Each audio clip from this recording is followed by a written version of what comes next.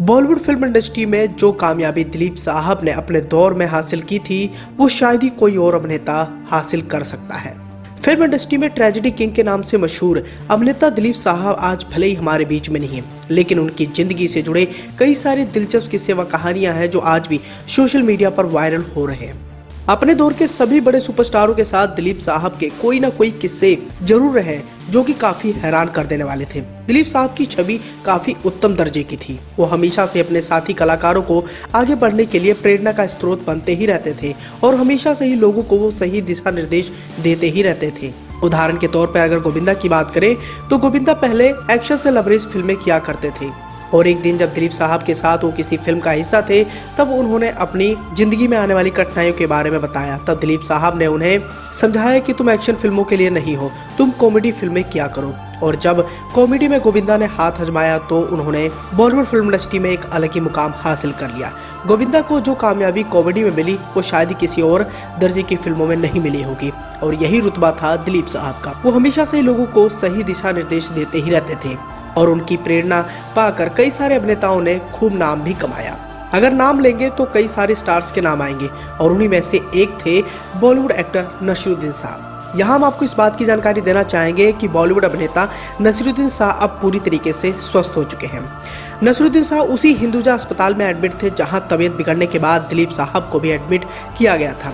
और उनका निधन हो गया। नसरुद्दीन शाह ने कहा कि जब वो एडमिट थे तो सायरा बानो उनसे मिलने भी आई थी और उनकी खैरियत ले रही थी। बाकी एक्टर्स की ही तरह नसरुद्दीन साहब ये दिलीप कुमार के बहुत बड़े प्रशंसक थे।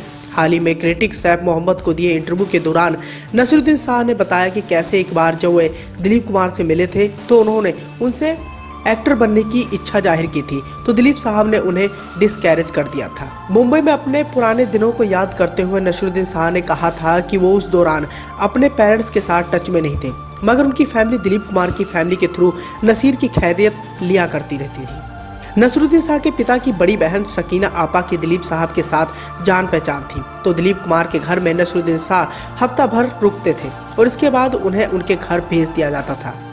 और नसरुद्दीन शाह उसी दौरान का किस्सा शेयर करते हुए कहे थे कि उन्होंने बड़ा नर्वस होकर एक बार दिलीप साहब से एक्टर बनने की इच्छा ज़ाहिर की थी। मगर दिलीप साहब ने उन्हें जवाब में कहा था, मुझे लगता है कि आपको वापस घर जाकर पढ़ाई करनी चाहिए।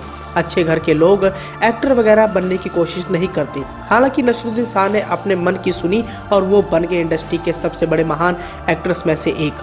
लेकिन जब इस बारे में उन्होंने दिलीप साहब से राय ली थी तो उन्होंने कुछ ना कुछ देखकर नसरुद्दीन शाह को ये मशवरा पेश किया था। उनका कहना था कि अच्छे घर के लोग एक्टर्स या फिर फ़िल्म इंडस्ट्री में अपना नाम नहीं कमाते, वो पढ़ लिख कर कुछ बड़ा काम करते हैं। लेकिन दिलीप साहब की नसरुद्दीन शाह ने बात नहीं मानी, और जैसे कि आप सभी जानते हैं कि फ़िल्म इंडस्ट्री में नसरुद्दीन शाह का भी एक अपना अलग ही मुकाम है। वहीं दूसरी ओर नसरुद्दीन शाह और दिलीप साहब की अगर फ़िल्मों की तरफ़ नज़र डालें तो दिलीप कुमार और नसरुद्दीन शाह ने इत्तेफाकन एक फ़िल्म में साथ में काम भी किया है। कर्मा फ़िल्म में दोनों दिग्गज कलाकार एक साथ स्क्रीन शेयर करते हुए नज़र आए थे। 7 जुलाई 2021 को दिलीप कुमार ने अंतिम सांस ली थी और दिलीप कुमार के निधन पर पूरी फ़िल्म इंडस्ट्री गमजदा नज़र आई। अमिताभ बच्चन से लेकर शाहरुख खान तक दिलीप साहब की अंतिम यात्रा में शामिल हुए थे।